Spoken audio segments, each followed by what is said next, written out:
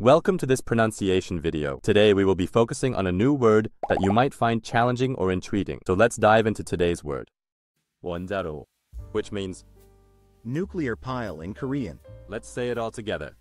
원자로, 원자로, 원자로. One more time.